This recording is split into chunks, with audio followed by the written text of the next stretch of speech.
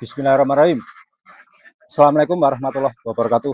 Hari Minggu, tanggal 24 Desember 2022, pukul 13 kurang 5 menit. Jam 1 siang kurang 5 menit. Masih keringetan, mohon maaf. Habis motong pohon pisang, terus saya kasih ke bebeknya buat pendinginan badan. Semacam minum es, es teh Kembali lagi di Ternak Channel masih bersama Cak Agung di Abifam Godian Sleman, Jakarta. Pukul 13 waktu Indonesia Barat, bagian barat. Suhu di 34,4. Cukup panas. Ini saya keringetan. Motong pisang, saya langsung saya kasih pengkondisian kembali ke setelan cuaca panas setelah mungkin empat hari ya, empat hari hujan. Tapi ini udah lama banget tidak hujan kembali pengkondisian ke cuaca panas. Efeknya tentu akan produksi akan terganggu karena adaptasi kembali ke yang gonta ganti. Setelah kemarin saringan saja ini perlakuan hari ini saya kasih E4 sama turbo di air minum takarannya empat tutup botol saya, saya kasih di ember kalau saya kasih satu sendok. Setiap satu minggu sekali atau mungkin lima lima lima hari sekali. Oke karena ini bentar ya saya ambilkan ya. Manfaat dari M4 ini banyak sekali manfaatnya sudah saya kupas kemarin. Ini digunakan untuk ternak ayam bebek burung dan lain-lain. Untuk menyeimbangkan mikroorganisme yang menguntungkan dalam perut ternak. Ini selalu saya rutin kemarin satu minggu tidak saya kasih.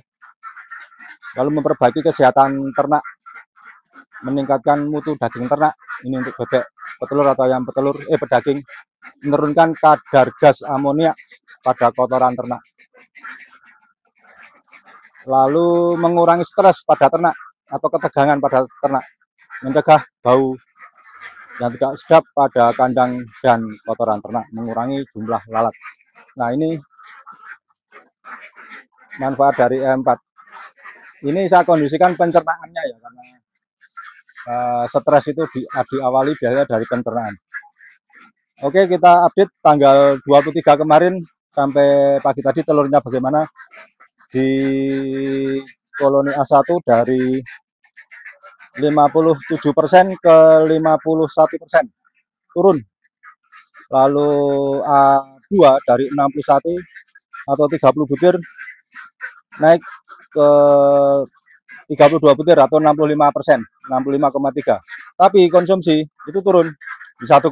Ini uh, konsumsi saya pengen mencapai titik di 1,2 on sampai 1,3 per ekornya. Ini konsumsi pakannya masih di bawah standar, di bawah standar saya. Lalu A3 itu dari 30 eh 31 ke 30 atau dari 63,2 ke 61,22. Koloni A4 dari 47,9 ke 50 persen atau dari 23 ke 25 butir. Koloni A6, A5 dari 53 ke 51 persen. Konsumsi pakannya sudah bagus di 1,2. Lalu di koloni A6 dari koloni A6 itu dari 34 ke 32 butir. Turun 2 butir atau 68 ke 64 Lalu A7, A7 itu dari 39,40 naik dari atau dari 79,59 ke 81,63 persen. Konsumsi masih bagus, rata-rata di 1,2 lebih per ekornya.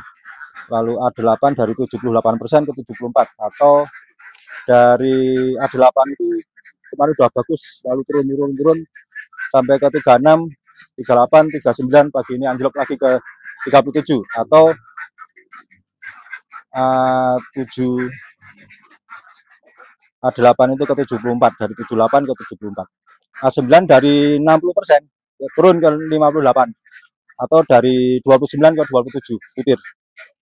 Konsumsi pakannya juga turun satu on per ekornya. Karena pagi tadi konsumsi pakannya di 5,142 nanti kita tampilkan ya selalu data selalu saya tampilkan untuk A10 dari 80% ke 84% dari atau dari 40 ke 42 butir. Total pagi ini telur di dari kemarin kemarin itu 318 atau 65,02 pagi ini telur turun ke 315 atau 64,4 persen. Nah ini. Ini saya kasih kembali ke setelan cuaca panas saya berusaha meredam suhu panas di dalam kandang uh, cukup tinggi. Di kisaran 34 derajat celcius. Saya gunakan gedebok pisang atau batang pisang. Saya potong saya belah saya kasih ke koloni. Ini biar untuk pengalian mengalihkan aktivitas bebek. Kalau biasanya bebek diam diam menahan hawa panas resikonya bebek stres. Makanya ini saya, saya kasih gedebok pisang ini untuk di samping untuk mendinginkan badan juga untuk mengalihkan mengalihkan aktivitas ya, hanya rebahan dan menahan panas. Makanya saya kasih ini biar ada aktivitas biar lupa terhadap cuaca yang panas. Alhamdulillah ada sedikit batang pisang yang sudah terpotong. Gitu. Kalau saya lihat dari koloni A1 sampai A4 itu 5 bulan 23 hari itu konsum uh, produksi telurnya di 51 56,8 persen. Eh, iya, 5, 112.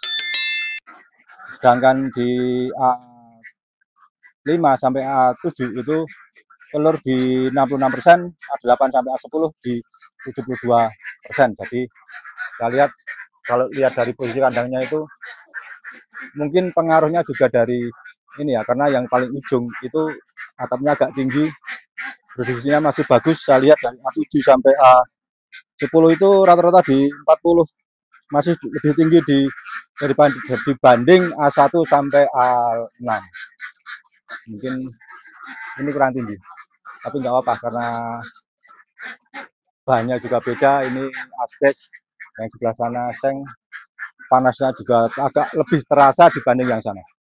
Mungkin faktor itu makanya kita alihkan berbagai upaya. Ada yang ngasih sayur-sayuran seperti kangkung karena kalau beli saya cukup banyak sekitar 60 sampai 70 ribu satu hari. Makanya untuk mengurangi biaya tambahan untuk pakan lebih baik saya kasih batang pisang.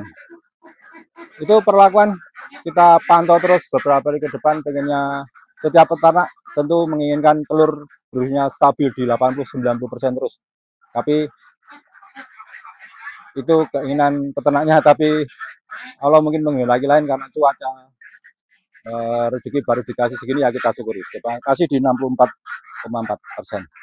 Kita jaga e, kesehatan bebek, kita kondisikan kesehatan bebek karena yang tahu kondisi bebek, kondisi kandang dan suhu di dalam lingkungan dan apa pun yang di dalam kandang dan di luar kandang adalah peternaknya masing-masing.